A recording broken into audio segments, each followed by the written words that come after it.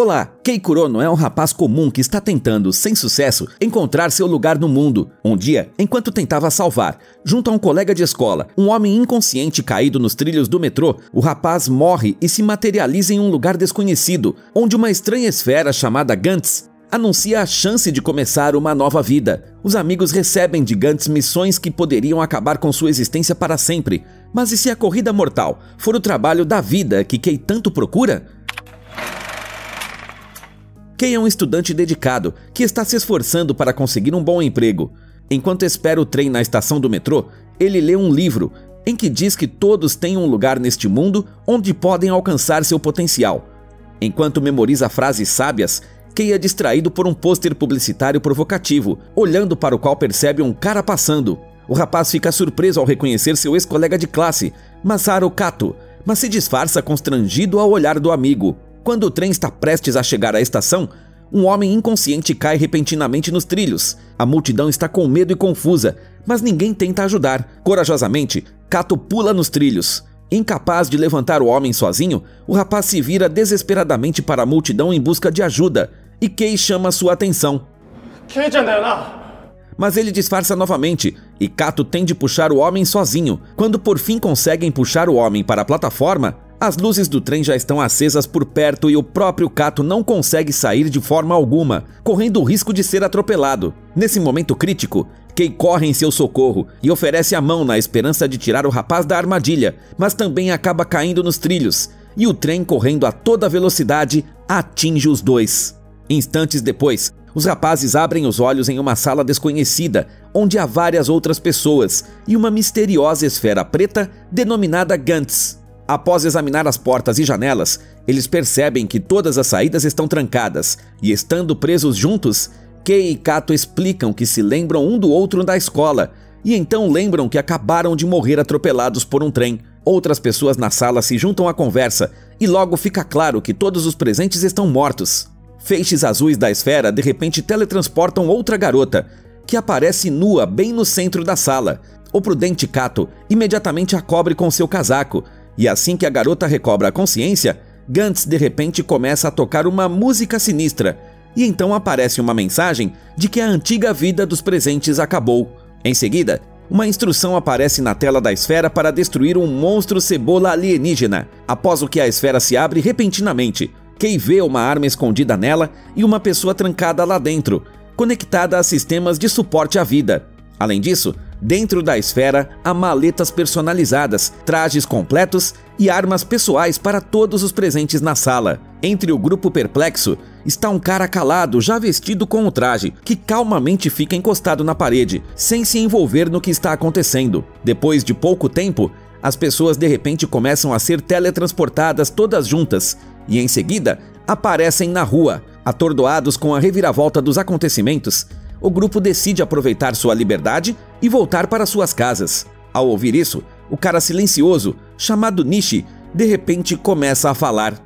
Ele conta ao grupo que seu pai é produtor e todos entraram em um reality show onde é preciso cumprir tarefas, e há uma recompensa de 100 mil dólares por completarem com sucesso a missão dentro de 20 minutos. Tal oportunidade interessa a parte do grupo, e naquele momento, o alvo indicado pela esfera aparece nas proximidades, um feioso monstro cebola, em busca do qual todos correm imediatamente, exceto os ex-colegas Kei e Kato e a garota Kishimoto. O grupo consegue atraí-lo para uma armadilha, onde atira impiedosamente no pequeno alienígena na frente do chocado Kato, que consegue alcançá-los na tentativa de impedir o massacre. Logo depois do monstro cebola, surge uma nova ameaça, uma criatura intimidadora com um moicano verde na cabeça e garras afiadas, que está prestes a matar todos os presentes. Seus gritos desesperados chegam a Kei. O rapaz encontra a origem dos gritos e testemunha um terrível massacre sangrento, realizado por um gigante que também pretende matar Kato, paralisado pelo medo. De repente,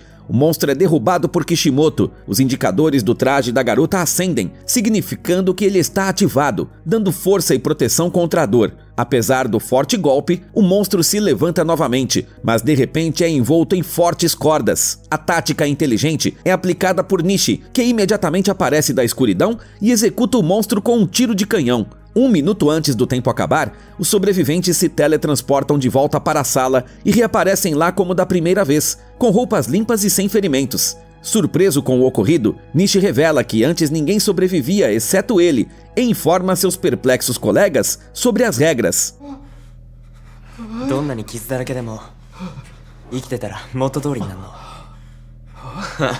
Quando o tempo no cronômetro acaba, Gantz anuncia o número de pontos marcados. Todos os participantes têm zero, com exceção de Nishi, que marcou 5 pontos e o total chega a 79.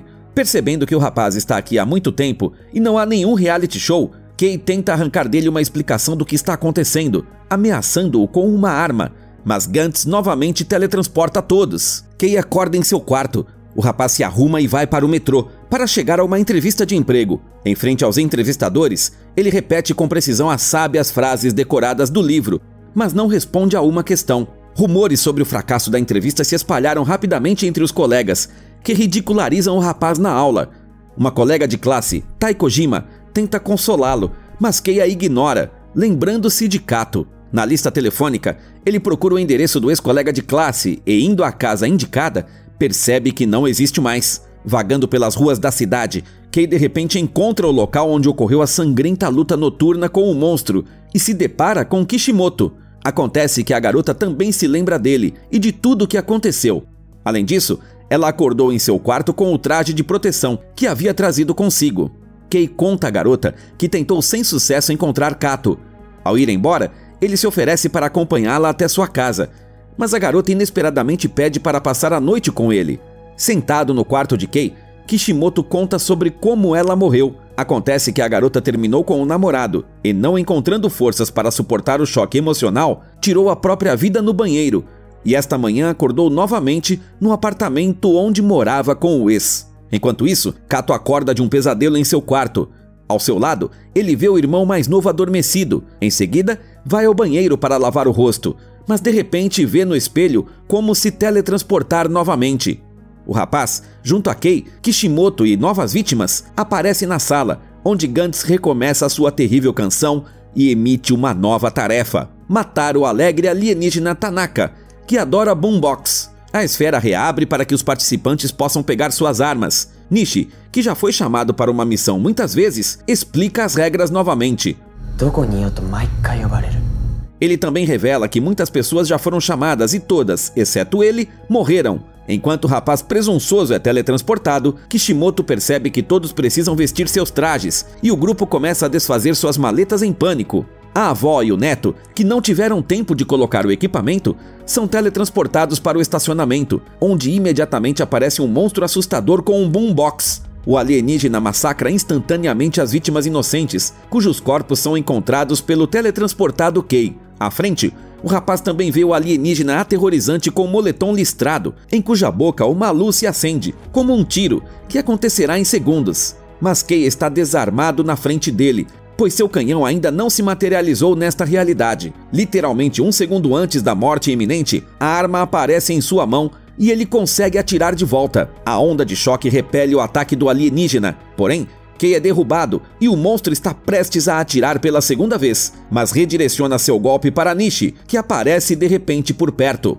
O rapaz é jogado contra uma escotilha de ventilação, após o que o monstro se lança sobre ele em um salto brusco e rompe a escotilha junto a Nishi, levando sua vítima a uma armadilha subterrânea, onde não há ninguém por perto que possa ajudá-lo. Sob os golpes repetitivos do monstro, o traje de proteção de Nishi se rompe. O rapaz começa a sentir dor e pede ajuda desesperadamente à equipe. O corajoso Kato novamente corre para salvá-lo. Ele consegue neutralizar temporariamente o um monstro impiedoso, mas isso não ajuda a salvar Nishi, que, morrendo nos braços de Kei, pede 100 pontos para trazê-lo de volta à vida. Sem dar tempo para o grupo pensar, o inimigo volta à batalha novamente. Ele consegue golpear Kato e Kishimoto, após o que é derrotado bravamente por Kei, que consegue ativar seu traje no calor da luta. Kei ganha força adicional e ataca furiosamente o alienígena mecânico, fazendo com que ele fique preso dentro do carro com ele no final do tempo. Sob os incessantes golpes do monstro, ele tenta alcançar seu canhão e consegue estourar a cabeça do alienígena em pedaços. Porém, o carro explode junto ao alienígena, após o que Gantz teletransporta a equipe para a sala. Eles aparecem lá sem Kei, mas depois de alguns segundos agonizantes, ele aparece diante do grupo são e salvo. O tempo previsto para a missão acabou e Gantz anuncia o número de pontos conquistados. Todos os participantes têm zero, com exceção de Kei, que recebe 7 pontos. Ele se lembra das últimas palavras de Nishi sobre conseguir 100 pontos e pergunta a Gantz o que aconteceria se ele conseguisse pontuar. A esfera responde com duas opções. Ao marcar 100 pontos, você pode apagar a memória e se livrar do jogo, ou ressuscitar uma pessoa da memória. Mais uma vez, à vida cotidiana, Kei começa a estudar as possibilidades do traje e descobre habilidades incríveis que o ajudam a alcançar seu potencial. Na noite seguinte, Gantz novamente chama a equipe para uma missão, junto a mais estranhos que morreram na vida real. Agindo com confiança na situação já familiar, Kato aconselha os recém-chegados a vestirem seus trajes, e logo a equipe armada se vê em uma missão onde são atacados por um enorme monstro de pedra. Todos tentam se esconder dele, exceto Kei, que, tendo aprendido o poder do traje, se transformou no outrora autoconfiante Nishi. O rapaz presunçoso pede a Kato para levar a equipe embora e deixá-lo sozinho com o monstro, e ele consegue esmagar o alienígena gigante. No entanto, após o tempo expirar, Gantz não teletransporta a equipe de volta para a sala, mas inicia o cronômetro novamente. O grupo percebe que há outro alvo na área. Tentando encontrá-lo, o grupo entra no templo, onde está um Buda de mil braços. Parado bem na frente da estátua, Kei é atingido primeiro, com milhares de espadas violentamente perfurando seu corpo. Mas Kato consegue puxar seu amigo ensanguentado para fora do caminho, deixando Kishimoto para cuidar de seu amigo ferido. Kato sai sozinho para lutar contra o monstro impiedoso.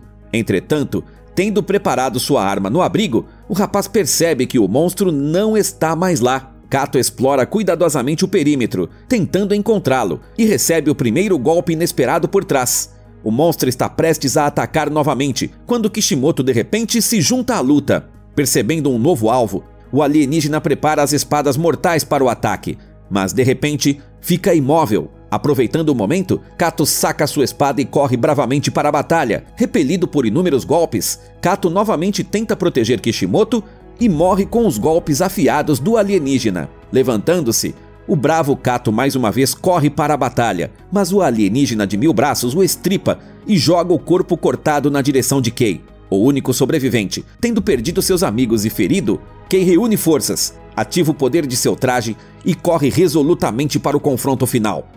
O monstro para facilmente seu golpe, mas o rapaz consegue escapar da estátua e de suas espadas afiadas. Percebendo seu canhão, Kei corre em direção a ele em um salto desesperado e agarra a arma, mas o monstro neutraliza o possível tiro com um forte escudo de espadas. Em seguida, uma pequena estatueta de Buda, caída da mão do alienígena, se transforma repentinamente em uma estátua gigantesca, rompendo o telhado do templo. Com pesadas palmas de pedra, o monstro tenta esmagar o rapaz desarmado, mas ele consegue se esquivar. Nesse momento, o rapaz de repente ouve a voz de Kato entre as ruínas, que reunindo o resto de suas forças, levanta-se e lança a arma para o amigo. Kei armado pula direto na boca do alienígena enfurecido, que é impiedosamente bombardeado por dentro. Tendo lidado com a ameaça, o rapaz retorna a Kato na esperança de que ele e seu amigo sejam teletransportados juntos. Segurando sua mão com força, o próprio Kei está sendo transportado e se encontra na sala